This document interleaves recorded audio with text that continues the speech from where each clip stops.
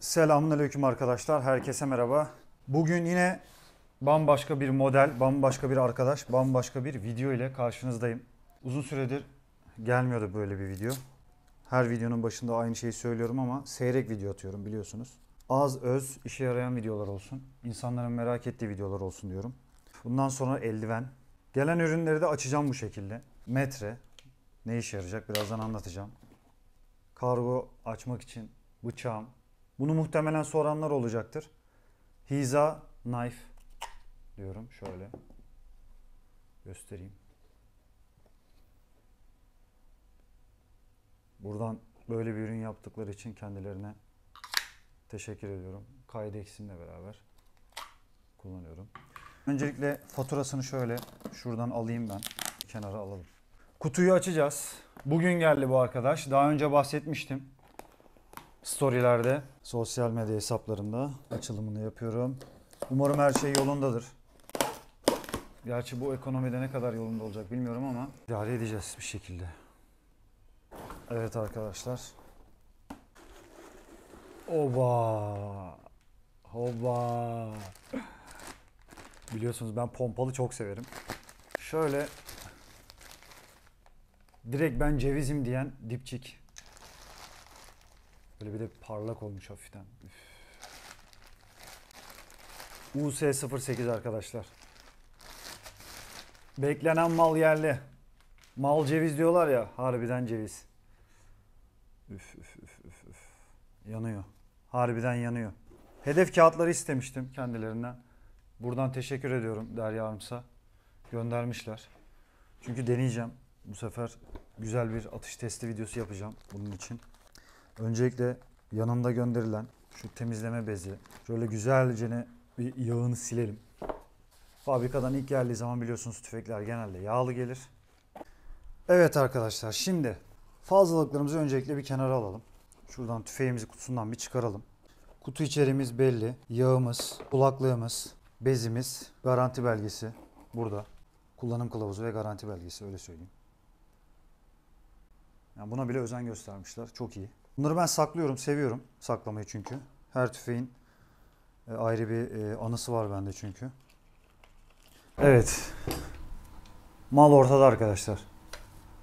Böyle bir yakışıklı tüfek. Daha önce bilmiyorum Türkiye'de yapıldı mı. Neden diyeceksiniz? Çünkü sağı da kapalı, solu da kapalı. Hem sağ kullanıcılar için hem sol kullanıcılar için ideal, mükemmel, yakışıklı bir tüfek yapmışlar.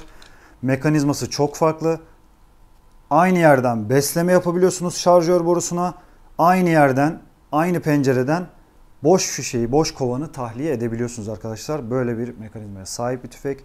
Çok iyi. Yani bütün e, tahliyeyi alt taraftan yapıyor. Sağa sola fırlatmıyor. Dipçimiz ceviz, el kundağımız ceviz. Namlu koruma, ısı kalkanı, e, sabit arpacık.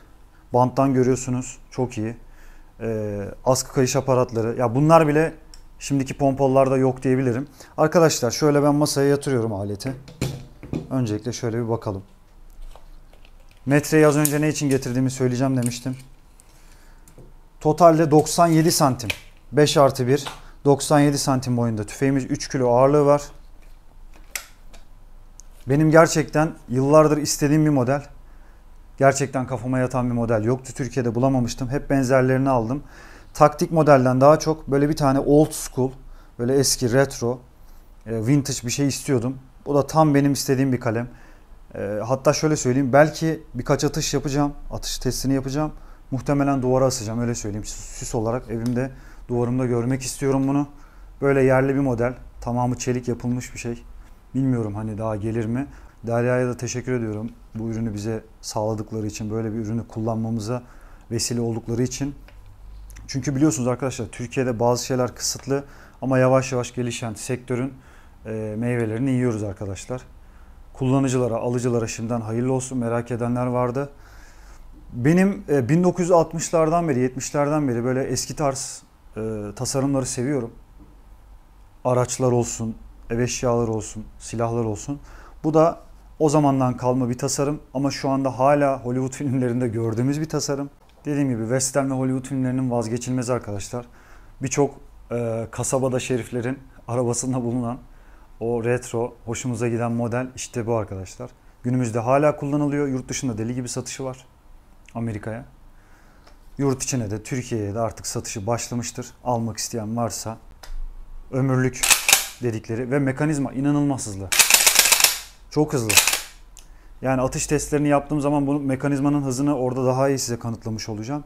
Ee, atmaktan vazgeçtiğimiz boş kovanı veya dolu fişeği tetik, tetik korkulunun tam önünde şurada bir pin var. Buraya basarak tahliye edebiliyoruz. Şimdi mekanizmamızın çalışma sistemine gelecek olursak. Mekanizmanın çalışma sisteminden şöyle bahsedeyim. Kameranın açısını değiştirdim sizin için. Bakın. Şimdi pompayı geriye çektiğim zaman şurada bir kaşık sistemi var.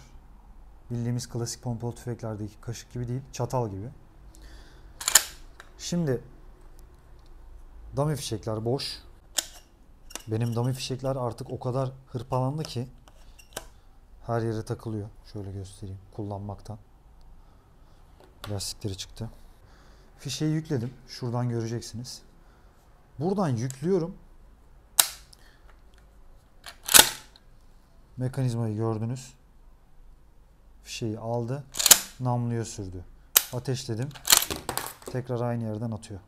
Bu arada tahliye için ve atmaktan vazgeçtiğimiz fişeyi dışarıya atmak için şuraya konulan pim çok uygun yere konulmuş. Normalde şurada şöyle bir levye gibi bir e, çıkıntı oluyor.